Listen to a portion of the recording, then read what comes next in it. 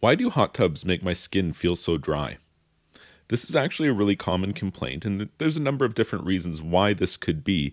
But I think most commonly, the number one reason why this would happen is high sanitizer levels. And sanitizer in a hot tub would be typically bromine or could be chlorine.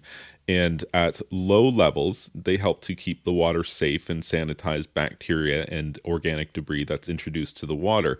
But in high or at high levels, it would definitely be uncomfortable to some people everybody is different, and some people are more sensitive than others to things like uh, chemical imbalance in the water or high sanitizer levels.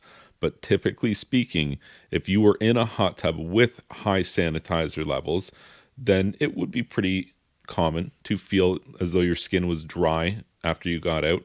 Uh, so I think that would be the first thing that I would be looking towards test the water and see what the you know the variables are um, for the chemistry and pretty often you'll find that the sanitizer level can be too high just because hot tubs are so small. It doesn't take a lot to really overshoot. You know, in a swimming pool to add way too much chlorine, well, you'd notice because you're just dumping in jug after jug of chlorine. In a hot tub, it wouldn't take much. If you throw a cap full of bromine in, or was it two capfuls, you can't remember, it could mean the difference between, you know, an acceptable level and a level which is much too high and very likely to make your skin feel dry. But there could be other things. And the next most likely candidate that I would look towards is a pH imbalance. And a lot of people kind of take it for granted. You know, the pH scale is logarithmic, so it doesn't really sound like a big deal. Like, oh, the pH was seven instead of a pH of eight. Does it sound? It doesn't sound like a big difference, right? It's just a pH is one one difference. Well, a pH of seven would be ten times more acidic than a pH of eight. And when you say it like that, it kind of sounds like a big deal. Like if you kind of notice in general, you you have sensitive skin. If you were in water that was 10 times more acidic than what you were expecting it to be, or what if it's terribly managed water? There's a lot of people out there that do a really bad job of managing their water. What if the water was 100 times more acidic than it was supposed to be? Would your skin feel dry when you get out? Like I imagine it would.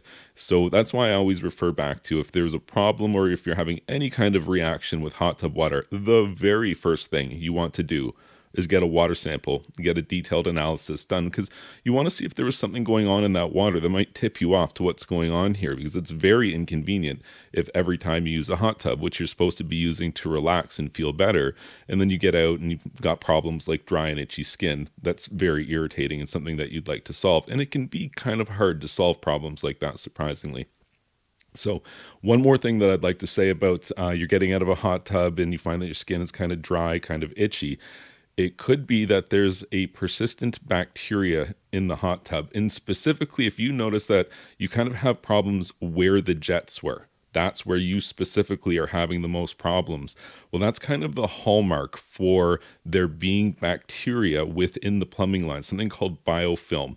And when the jets are turned on, you know, some of this biofilm, this kind of gray gunk junk strips away and it you know flies through the, the pipes and out through the jets and it hits you right in the back. And the thing about it is it's it's already hot water so your pores are open and then you've got this kind of like really awful bacteria and it gets like jet propelled into the open pores of your back. Well, you could get out of the hot tub and notice, oh, my back's kind of itchy everywhere where there's a jet, or if you used uh, feet jets or calf jets in your hot tub and you've got problems back there, it could be something in the plumbing lines itself. And that's why it's so important to use a pipe flush every time you're going to drain and refill your hot tub.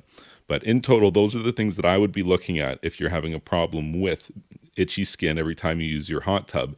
And it might be worth exploring the use of borates in your hot tub at 30 to 50 parts per million. The primary function of this is to help buffer the pH movement, which is nice because pH movement in hot tubs is something that you kind of have to deal with all the time. So it would help you to buffer that. But something that people tend to say about borates in hot tubs is it changes the feel of the water. The water feels a lot softer and often is compared to saltwater pools or saltwater hot tubs because it does have a kind of a softer, less drying feeling. So if I wanted to use a hot tub and I was having issues with dry skin, then I would explore the use of borates at 30 to 50 parts per million. If you found this information helpful, please be sure to like this video and subscribe to my YouTube channel. And you can check out my website, swimmingpoolsteve.com.